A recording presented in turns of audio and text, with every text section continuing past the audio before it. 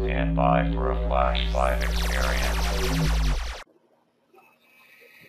Hola, buenas a todos chavales, bueno pues aquí estamos en el informe, comentando informe y que os traigo por aquí. Bueno, pues por fin ya tocaba parche para The Last of Us Multiplayer y también modo multi modo historia también.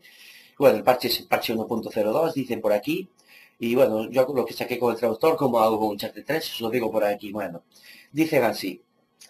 Primero, hemos desplegado un parche 1.02 para The Last of Us hoy. O sea que está disponible a nivel mundial a las 5 del horario Pacífico, 5 de la tarde, o sea que será, pues, estará a punto de ya tenerlo aquí en España, en Europa, o si no, dentro de unas horas, ¿no? Luego, la, lista de cambios para el parche son, para un solo jugador, la textura del número de teléfono en un tablón de anuncios se ha cambiado, nada más, ¿vale? Super corrección, super corrección para el modo historia, bueno. Y para el multiplayer, pues hay bastantes cosillas, porque lo tenían un poco manga por hombro, ¿no? Vamos a ver, multijugador, técnico. La migración de host ha sido mejorada. La pérdida de conexión con el host durante una migración debe ocurrir con menos frecuencia. Eh, la caída general al salir del multijugador también se ha solucionado. Bueno, supongo que se refiere cuando salías del multiplayer, pues no sé, que se iba toda la mierda, o si salías del juego también se iba todo, bueno, no sé, que la verdad es que a mí pasaba, cuando salía del juego, pues se apagaba la play, daba doble pitido y se, iba todo, no sé, no era muy normal, ¿no? Salir del juego y que hiciese eso la PlayStation. Luego pone que la cámara de la intro fix para algunas escenas de corte introductorias. Bueno, las traducciones de la marinara. No sé la verdad mucho lo que es eso. Problemas de conectividad mientras que estás jugando han sido ajustados también. Si te desconectas o pierdes la conexión con el host, ya no vas a perder un día del clan, ya no se va a joder tu campaña. ¿eh? Solo avanzarás un día del clan si te expulsan de la partida o si sales a través del menú. O sea, si haces RQ si haces RQ sí que avanzas un día de la campaña y pues por supuesto se te jode un poco la campaña, ¿no? Avanzas un día sin, y, sin suministros, pues estar enfermos y, y, y hambrientos y te puede morir gente. Pero bueno, por lo menos ya es una solución, ¿no? Esperemos que dentro de estas cosas que os estoy diciendo aquí, pues se solucione eso que me pasó a mí en el otro día en el directo, de que te quedas en el cuerpo tirado en el suelo, invisible y esas historias, ¿no? Bueno, luego pone aquí gameplay.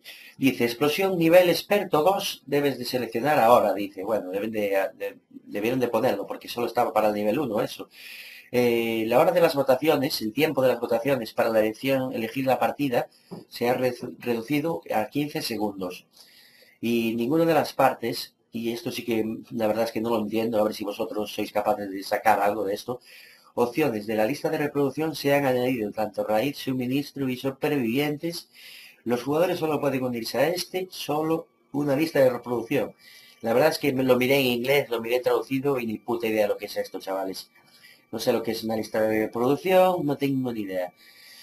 Y luego, cuerpo a cuerpo contra un personaje caído, ahora utilizas el mismo rango de cuerpo a cuerpo que normales. O sea, creo que quitaron un poquito las cámaras estas de muerte porque era lo que la estaba liando bastante, ¿no? Cuando estás eh, matando a alguien cuerpo a cuerpo que está caído y justo le das al triángulo y hace el cambio para hacer la cinemática de cómo lo matabas, ¿no?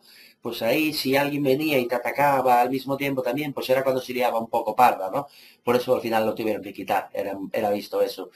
Es una pena, ¿no? Porque estaba bastante bien, pero bueno, es lo que hay, chavales. Así que bueno, yo no probé aún nada el juego ni el parche porque no sé ni siquiera si está disponible ahora mismo. Pero yo os digo, si no es ahora mismo, es a lo largo del día. 5 de la tarde allí, pues son igual 7 horas más, igual hasta las 11 de la noche aquí o así, no, no lo tenemos.